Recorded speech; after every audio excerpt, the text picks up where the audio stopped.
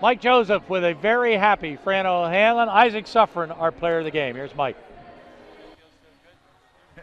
Hey, Coach, I'm here with Coach O'Hanlon. Coach, in the coaching fraternity, it's not always the best thing or toughest thing to go against somebody you're so close to, but when you come out with a W, you got some bragging rights. Yeah, I got so much respect for Coach Donahue. He was my high school assistant. He, we were together at Penn.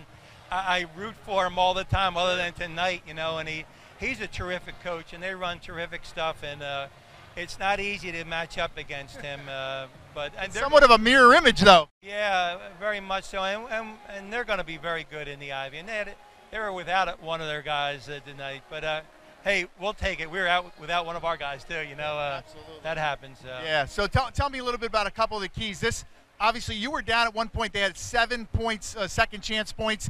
In the second half, I thought they had two, so you really limited that. Yeah, we did. A, we talked about that at halftime, and they had nine offensive rebounds in the first half. We had to limit that. And the other thing that has been our kind of Achilles heel, just starting out half. Sometimes you know the start of the second half, whatever. I said we have to start out just as good as we started out the game, and uh, whatever we need to do to, to get ourselves ready, because you know they're going to turn it up. And uh, and and we re- and we responded. Well, three wins against Ivy League teams, and the kid who I'm going to bring in here, Isaac Suffren, can go to the go, go to the basket and play some good defense. Oh, he's he's uh, he's got a bright uh, future here, and uh, and uh, you know it's only one game. We got to uh, keep working at it and get better, and and we will. 24-hour rule. Enjoy it, coach. Thank you. Appreciate it. Isaac, come on in here. Isaac, 19 points tonight, just an amazing game. I mean, that is a basketball team that is a very good team. You hung with them, you went right to the wire, you had them pretty much the whole game. Uh, just an exciting game. You were taking the ball to the rack tonight. Yeah, I mean, you know, last year, you know, we played uh, UPenn, real good ball club, and we, we lost by, you know, 91 to 61. So, man, to come out here and, you know, show, you know, how much better we've gotten and, you know, really, really capitalizing on our potential, I think it's, you know, I think it's a really big win for us. Yeah, tell me what was the biggest key tonight you thought? Obviously, the offensive boards, you guys came back, did a better job doing that. What was the key tonight? Uh, big key, man, definitely playing a full 40 minutes. Um, I mean, you know, a lot of times. No offensive lulls. No, no, or defensive. You know, defensive because you know a lot of times, you know, in the second half, you know, especially last year, we had the tendency to let you know let teams back in the game after being up, man, five, ten points. You know, we really stuck with it. You know, we're consistent for the full 40 minutes. Enjoy it and uh, get some rest tonight. We'll see you back here in a couple. Yes, sir. Get it. Guys, amazing win. Three wins against Ivy League teams. Coach O'Hanlon, 25 years, keeps rolling. Back to you. All right, Michael, thank you very much. Job very well done tonight.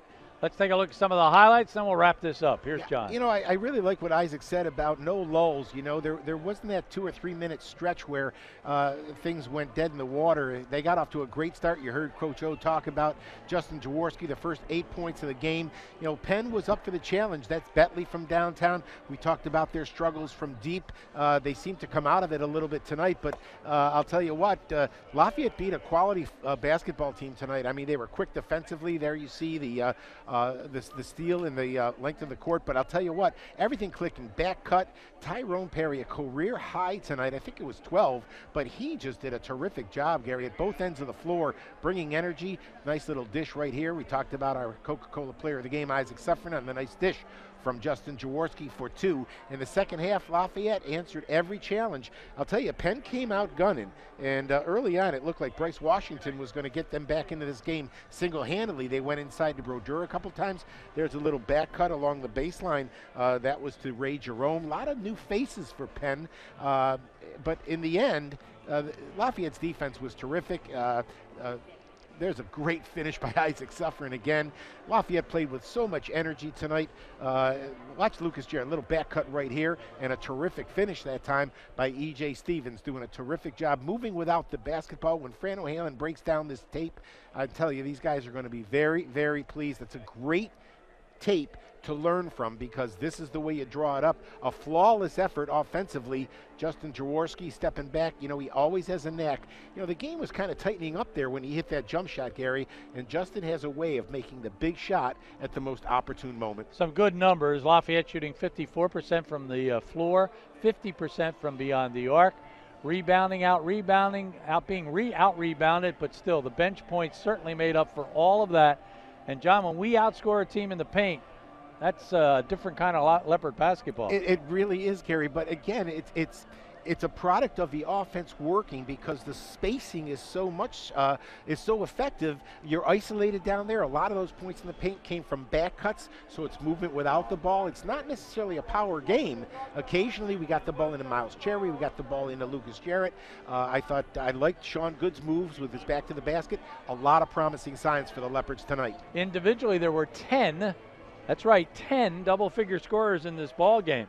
For Penn, Brodeur 14, Betley 11, Goodman 15, Washington 12, and Jerome 10. For Lafayette, Jarrett 10, Perry 12, career high, Jaworski 20, a career high in assists with six, Cherry with 13, and a career high for Isaac Suffren with 19. There you see Jaworski six yeah, assists in the ball. He just played a terrific all-round game. Well, he but really, he always does. He, he always does, Gary. But but it's uh, like an exclamation point on that tonight, and I think it was a product of the ball just moving so well. It was pretty basketball. Tip of the cap to Penn.